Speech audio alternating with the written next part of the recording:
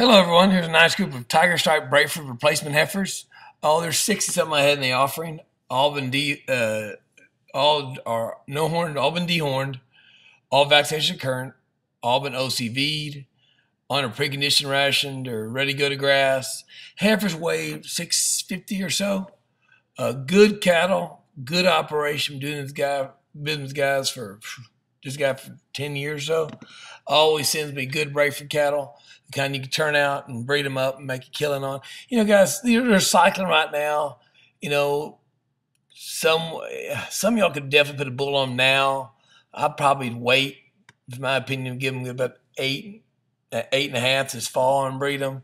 The quality of these girls are good, good operation. Uh, there's kind you can resell next year, and make a killing on, or ranch for next 10 to 15 years. Just a good group of quality Braford heifers that will not cost you arm and leg.